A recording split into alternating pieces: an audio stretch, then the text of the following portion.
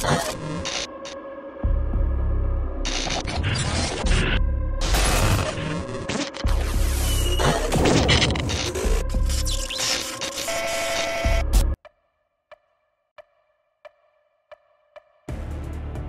don't believe that the Jewish state and modern Zionism would have been possible without Christian Zionism.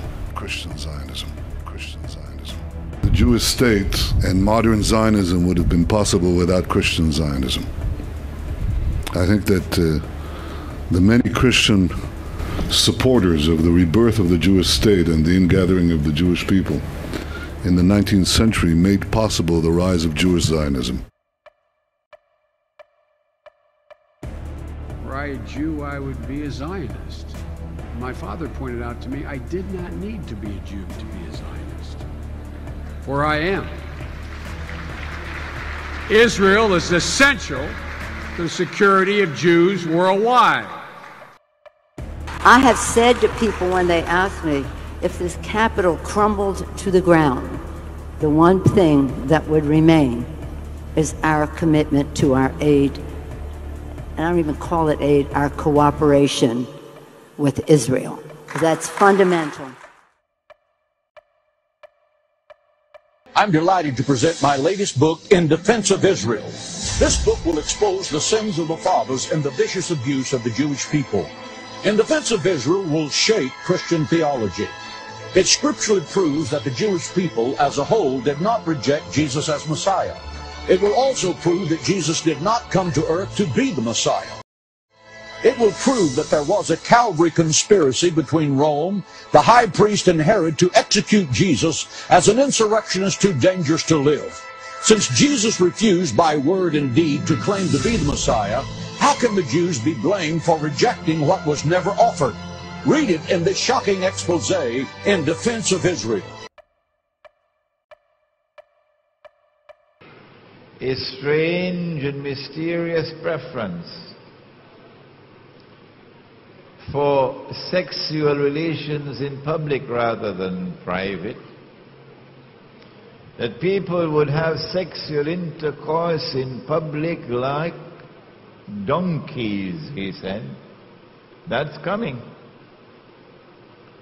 A strange and mysterious fascination with having sexual relations in a motor car parked in a park.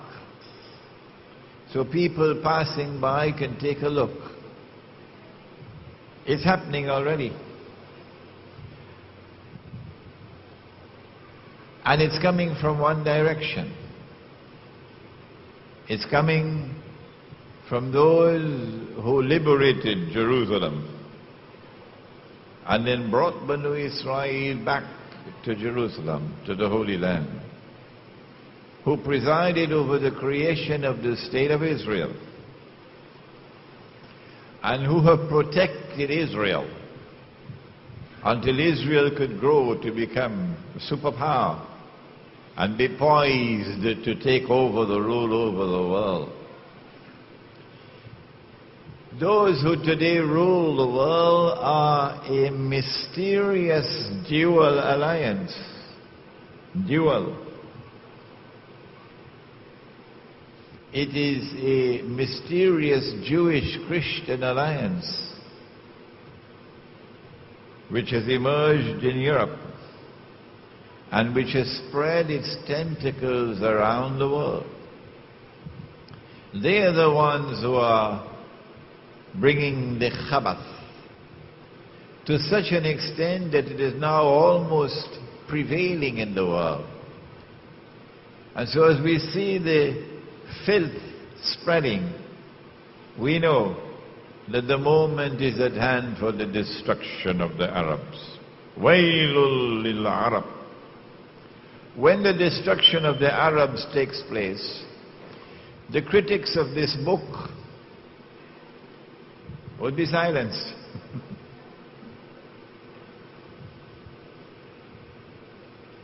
but I want to take you now back to that spot in the Caucasus Mountains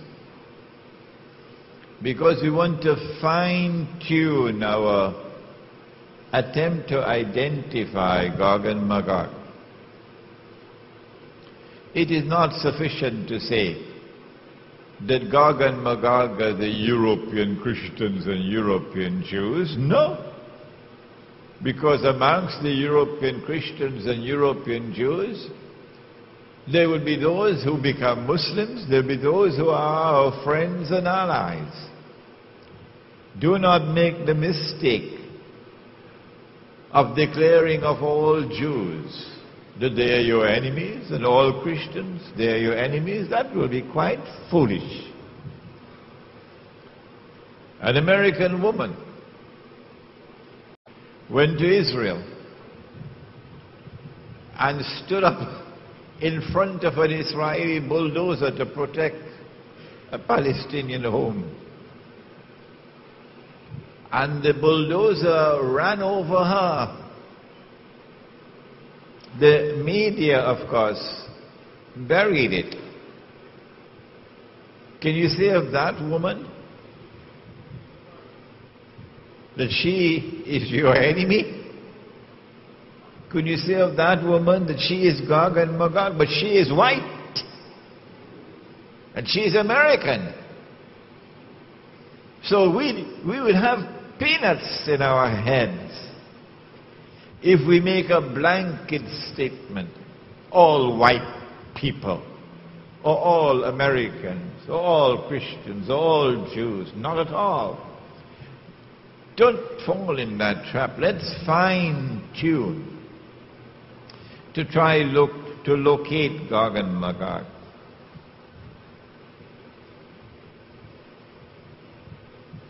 We have to go to the Caucasus Mountains. And there at the Caucasus Mountains, we have to look for a people with power. There have to be a people whose power was greater than any other power in the world at that time. We have to look for a people who will eventually be moving from that northern area and moving towards Jerusalem.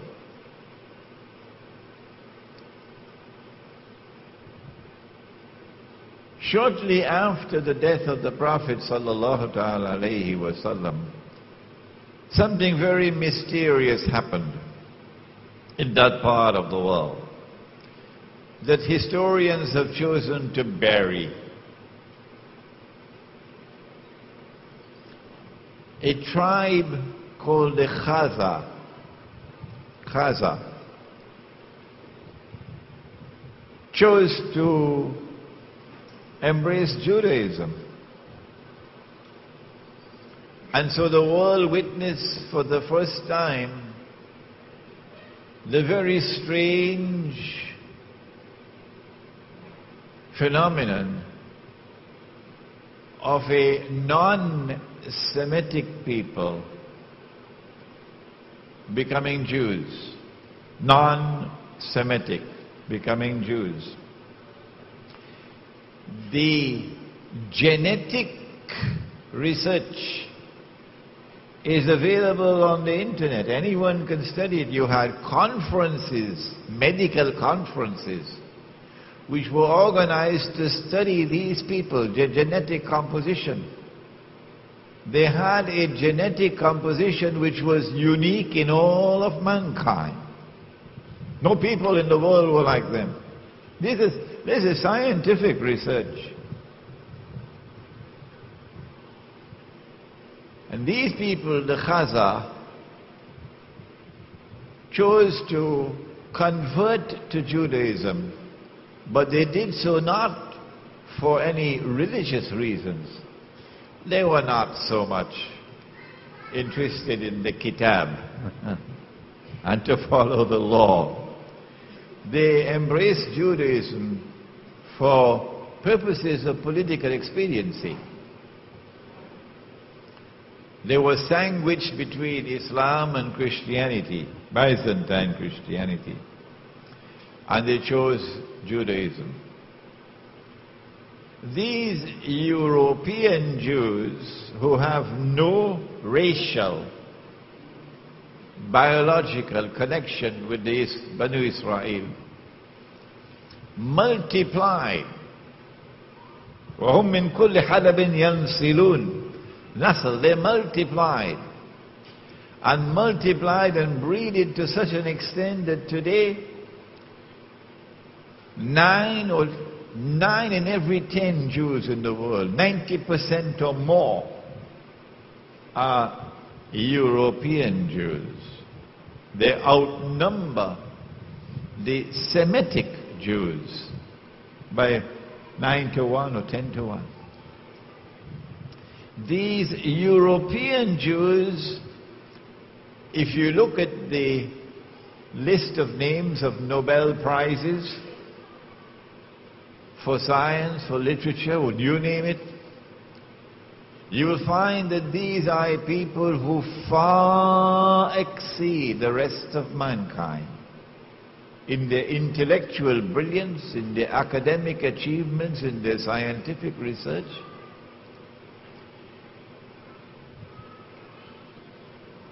They are a people different from the rest of mankind. And then you find that these Khazar who became Jews also chose to become Christians. So you have the Khazar infiltrating the camp of Judaism and infiltrating the camp of Christianity as well. And from the ranks of these Khazar Jews and Khazar Christians, the emergence of the Jewish-Christian alliance can be traced.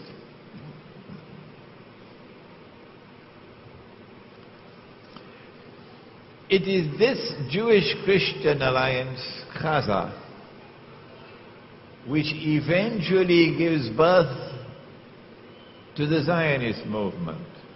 The Zionist movement has absolutely nothing to do with Banu Israel. It is an essentially and an exclusively European achievement. It is these Khazar who having become Jews, first Jews and Christians, who built an empire that was the most powerful in Europe and, and Central Asia. And when the armies of Islam had simultaneously defeated the two superpowers in the world, the Persian Empire and Byzantium, and had emerged as the most powerful military force in the world. Khazar blocked our way. We could not defeat them. And so it would be quite correct to say that the Khazar demonstrated a military power without equal in the world at that time. It is from this part of the world that they spread out. They spread out to Eastern Europe, they spread to Russia, and eventually crossed the sea to the United States. And they are at the heart of the revolutions which transformed Europe from Christendom into modern Western civilization. They are at the heart of the Bolshevik revolution in, in Russia, which overturned Christianity in Russia. They are at the heart of the French Revolution, in consequence of which the back of the Christian church is broken. The prohibition of riba is now consigned to the garbage bin. and they are at the heart part of the creation of the Zionist movement.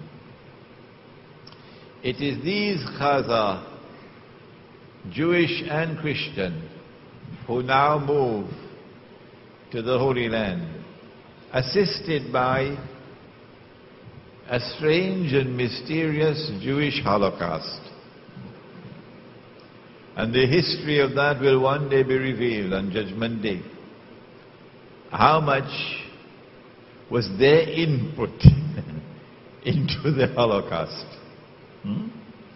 So that you have an exodus now of these European Jews to the Holy Land.